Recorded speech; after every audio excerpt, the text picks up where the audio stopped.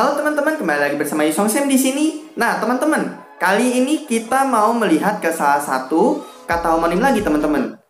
Hari ini kita akan melihat kata homonim pool.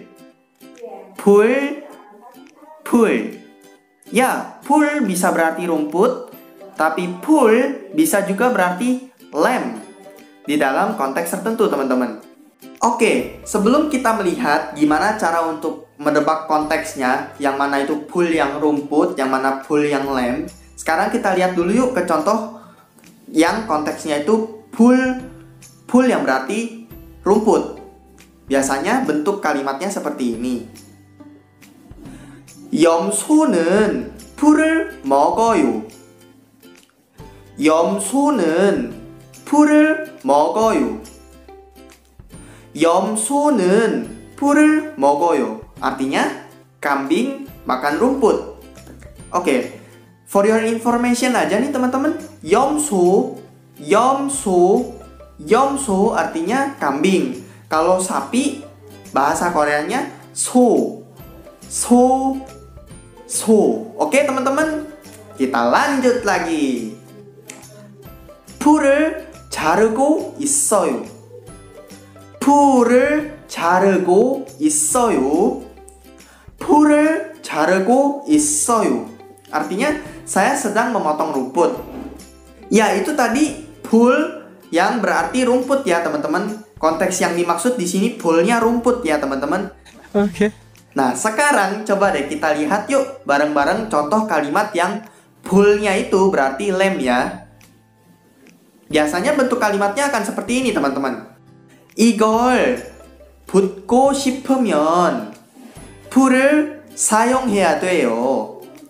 이걸 붓고 싶으면 풀을 사용해야 돼요.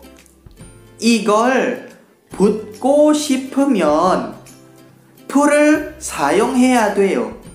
이걸 붓고 싶으면 풀을 사용해야 돼요. Artinya, jika ingin menempel ini harus menggunakan lem.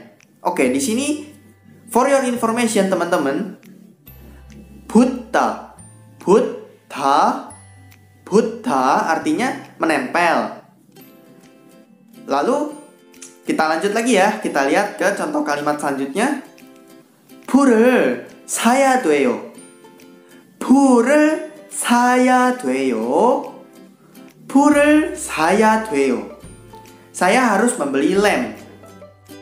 Oke, penjelasan sedikit untuk kalimat yang ini. Purul saya tuyo. Kamu harus lihat tempatnya, teman-teman. Kamu sama lawan bicara kamu sedang bicara di mana? Kalau kamu sama lawan bicara kamu sedang berbicara di depan peternakan misalnya. Misalnya lawan bicara kamu punya peternakan. Lalu bilang gini, "Purul saya tuyo," berarti dia maksud dia itu poolnya itu rumput ya teman-teman, bukan lem.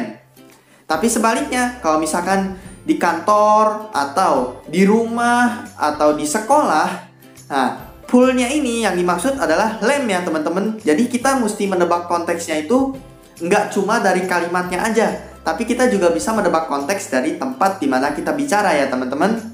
Oke. Okay. Kalau ini sih sebenarnya kita harusnya bisa menebak konteksnya ya teman-teman. Seperti yang saya bilang tadi, kalau misalnya kita lagi ngomongnya di peternakan, terus uh, ngomongin binatang, makanan binatang dan semacamnya, itu kita bisa yakin poolnya berarti rumput teman-teman. Tapi kalau lagi ngomongin tentang keterampilan tangan, tempel menempel, beli membeli, pakai memakai, pinjam meminjam dan semacamnya, biasanya itu ngomongin pool yang berarti lem teman-teman. Kan nggak mungkin dong kita minjam meminjam rumput, kan lucu. Tapi bisa aja sih. Atau misalnya Uh, kalau beli membeli itu rumput juga bisa teman-teman itu benar-benar kita harus menebak konteksnya tapi kalau nempel menempel itu udah 100% pullnya berarti lem ya Sen juga jadi mikir pinjam meminjam emang rumput bisa dipinjam ya teman-teman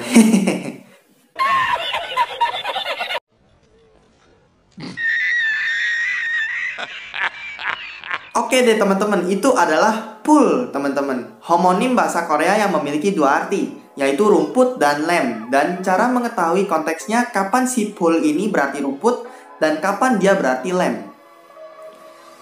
Ya, jika teman-teman ada yang ingin ditanyakan, langsung aja tulis pertanyaan kamu di kolom komentar di bawah ya, teman-teman. Jangan ragu-ragu, oke? Okay? Oke. Okay. Dan buat teman-teman yang baru bergabung, boleh di-subscribe dulu channel ini ya, dan nyalakan loncengnya supaya kamu nggak ketinggalan video pelajaran bahasa Korea terbaru dari channel ini ya. Makasih banyak teman-teman yang sudah menonton video ini. Mohon maaf apabila ada kesalahan ataupun ada yang kurang dari penjelasan Sam. Dan kita akan ketemu lagi di video berikutnya. Kamsahamnida, annyeong. Semangat belajar bahasa Koreanya ya teman-teman.